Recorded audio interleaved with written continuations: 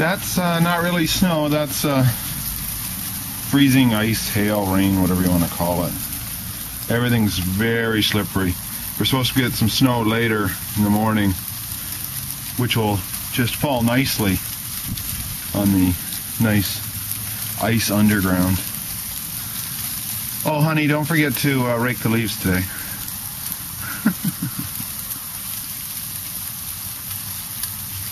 Finish raking the leaves for the 400th time. Alright, so it could be an interesting day.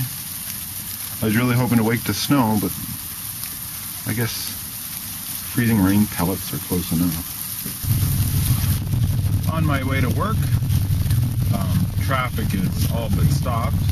Uh, currently, the weather outside is frightful. Ice pellets and uh, not much snow. The snow is coming a little later, but uh, right now we're uh, enjoying the uh, the ice pellets and the uh, the uh, the ice.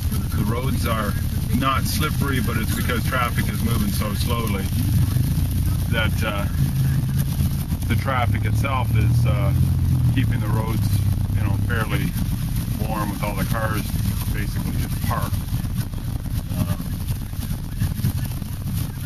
and uh, hopefully there'll be uh, a lot more, so there'll be, well, I say hopefully, not for the people that are driving, but for those snow lovers like myself, uh, you know, hopefully we'll uh, see a lot more snow. Uh, normally my commute is all of about 10 minutes, but uh, today it's uh, it's been 15 minutes and I'm not even halfway there yet. So, uh, yeehaw.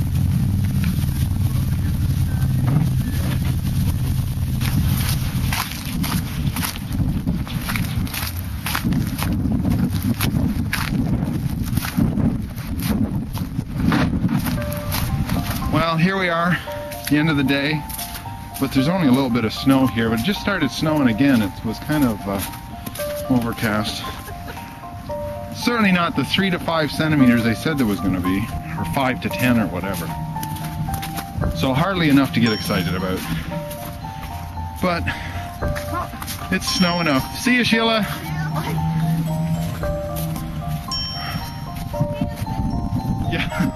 yeah. There's not enough snow to go dancing yet.